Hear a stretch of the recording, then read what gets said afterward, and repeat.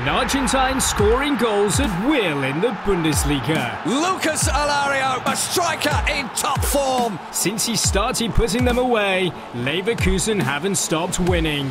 We take a closer look at Lucas Alario. Alario joined Leverkusen in 2017-18 from Buenos Aires Giants River Plate.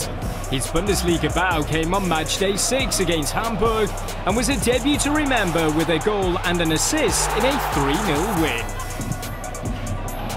There's a chance, and there is a first Bundesliga goal for Lucas Alario. Yet only now are we seeing the best of the Argentine hitman.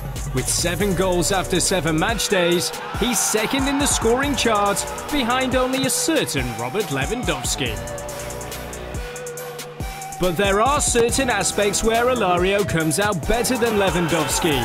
The Leverkusen man has scored three headed goals this season, that's the most in the league. Oh, great headed goal! That is pure Alario!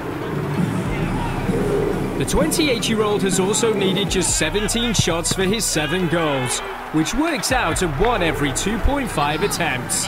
In other words, he strikes with 41% of his shots, while Lewandowski does so with just 35%.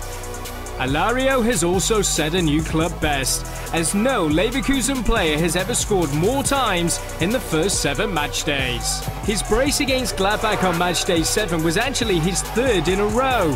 Should he repeat the feat next time out against Arminia Bielefeld, it'll be a new Bundesliga record. How many goals do you think Alario will get this season? Let us know in the comments. Hello? Yes, you. The Bundesliga on YouTube.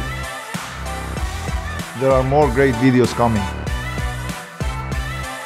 Click here to subscribe and join our Bundesliga community.